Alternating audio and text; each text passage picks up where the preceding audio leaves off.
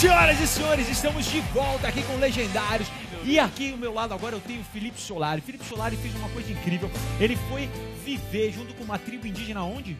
Lá, tribo Ingaricó, em Roraima. Ingaricó, em Roraima. Não é Roraima, é Roraima. É, a gente aqui falava Roraima, É. mas eu tomei uma bronca no meu Twitter, é Roraima, certo? E a gente foi, ele foi ver como é que é, se é possível hoje em dia ainda viver longe da civilização, longe de várias facilidades que nós temos aqui. Você com certeza voltou com muita experiência, né? Fez falta muita coisa ali, né, Mion? É, coisas que a gente não se dá conta no nosso dia a dia. Até mesmo uma escova de dente, uma pasta de dente, a gente não tinha lá, escovamos o dente com o dedo.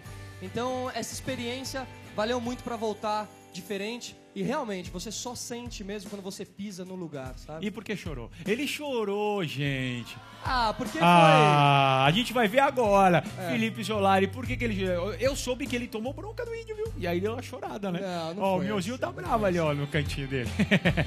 Roda, Diego Sola, vamos ver. Felipe Solari sobrevivendo mais uma aventura na tribo Ingaricó. Vai. Na semana passada vocês viram tudo que a gente passou até chegar na tribo Ingaricó em Roraima. Senhoras e senhores, chegamos. Hoje vocês vão ver como foi esse nosso primeiro contato com eles. Só porque eu vim pra cá, eu não paro de ir no banheiro.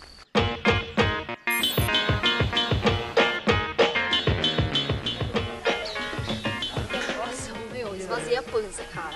Banheiro pra cá? Eu sou ser humano, preciso ir no banheiro, só que eu tenho vergonha. Olha a situação. Ui!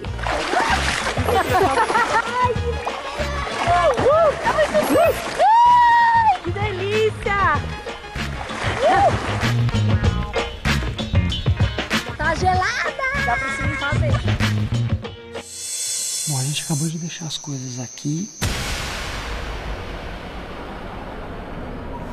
As atividades é, na aldeia já se encerraram, já tá todo mundo meio dormindo. Vai chegar aí que a gente vai dar um- uma voltinha. A gente Agora a aonde? gente vai lá no posto de saúde para para fazer uma visita lá pro pessoal que trabalha nessa questão de saúde indígena. Que né? não são, não são, in- não Não, são os eles não índios são daqui. Não são indígenas. Dá licença. Eles estão acostumados com a presença de vocês, com a presença da saúde aqui. Agora, e a gente, por exemplo, uma equipe de filmagem que chegou aqui? Como você acha que vai que é a nossa recepção aqui? Pra eles, vocês são pessoas diferentes que estão chegando aqui. Uhum. E eles não, não estão acostumados com isso. Então eles nem sabem o que é uma equipe de reportagem. Essa aquele comunidade aqui é característica porque é a que mais se assemelha à área Yanomami. Que Certo. são indígenas propriamente ditos, entendeu? Usam São os mais... Tessimac, né? Andam nus na, na, na mata. Mas aqui eles mantêm a língua deles ainda. Certo. Choca a gente ver um índio de relógio, choca a gente ver um índio de calça jeans. E na verdade não. não, não- Espero que eles estejam pelados. Pois é, e, e também não tem problema nenhum deles estarem com a calça jeans, entendeu? Se a gente não pode ser hipócrita, ah, mas eu fui lá e eu vi um índio de calça jeans e ele não estava pelado. Qual que é a maior preocupação de vocês aqui nesse momento, nessas regiões que vocês estão visitando? São tantos. Assim, os problemas de saúde que nós encontramos aqui, nós corremos os, os mesmos riscos. Quais são esses riscos, cara? Principalmente aqui a malária, né? E assim, modificar uma cultura assim, antiga é muito difícil. Difícil, né? E o resto do pessoal da aldeia tá tudo dormindo. O cara dorme cedo, senão o canaimé pode pegar o cara. E o Carnaíné quem é? O canaimé é uma é um ser mitológico dessa região, Certo. que ele anda de noite. Aí tu tá parado num lugar, aí tu, tu ouve aquele assim, ó.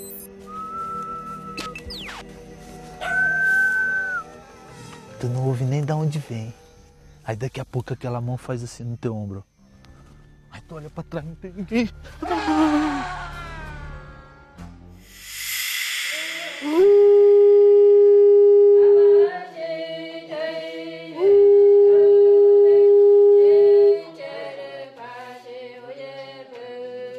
Bom dia.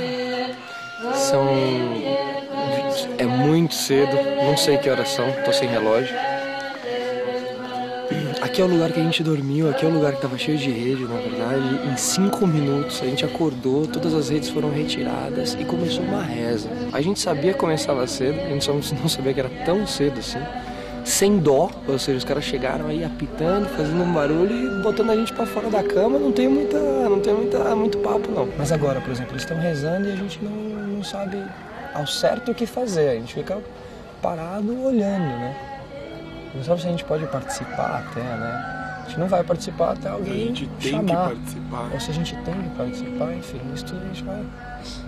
Vamos descobrir, né? Eles estão dançando aí desde que o dia amanheceu, assim, sabe? E a gente é, acordou, ficou só os paulistas lá, a equipe de gravação junto, conversando só a gente. E eles lá, ó, dançando, dançando, dançando, dançando. E eles ficaram até a hora que a gente entrasse, cara. E se a gente não tivesse entrado agora, eu acho que eles teriam ficado até. Não iam ter parado pra comer, não iam. Sabe, cara? Então na hora que eu entrei lá, eu me desmontei por isso, assim.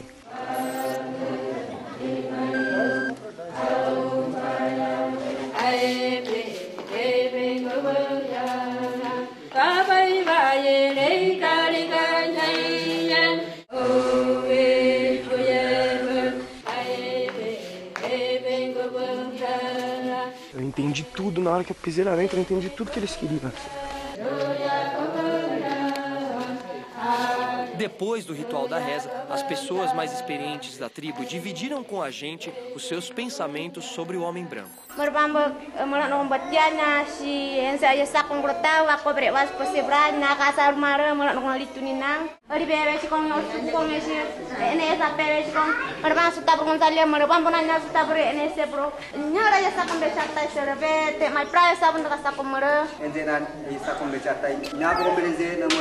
Mapida kasi direnji kumilha mereka lá.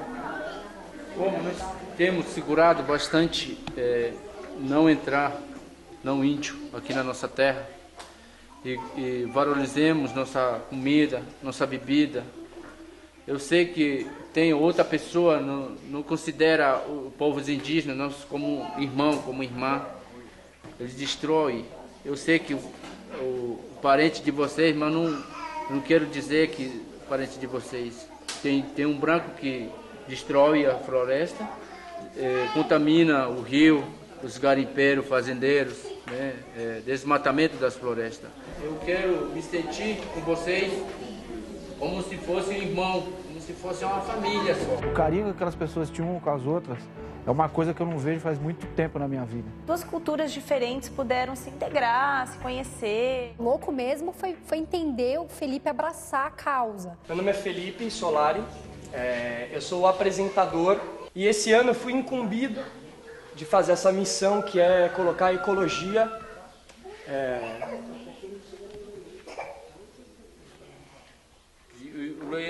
Felipe Yesek merebang nyaya sa merebang ure Yesek ure Dubai egama.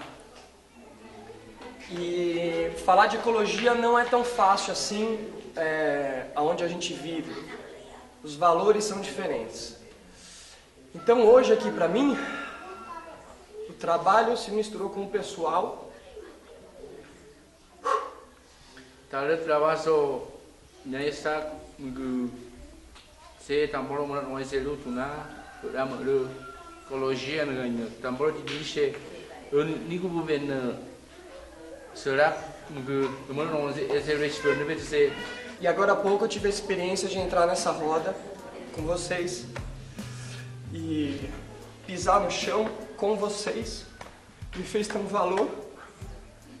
Eu não gostar Zenuba, Zenuba pu da kre le ga abram le bang. Talo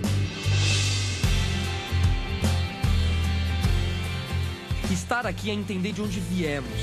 Porque aqui ninguém atualiza o celular, ninguém vai ser assaltado no semáforo, não tem o carro do ano, não tem espelho.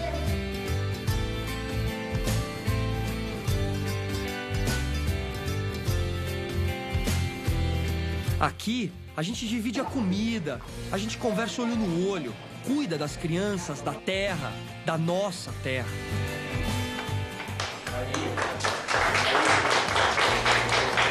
Tudo bom? Bom dia. Bom dia. Tudo bom?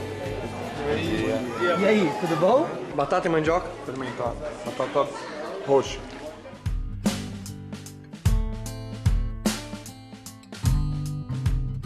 E no fim de tudo, percebemos que se existe algum risco, algum medo, é da gente e dos caminhos que estamos tomando.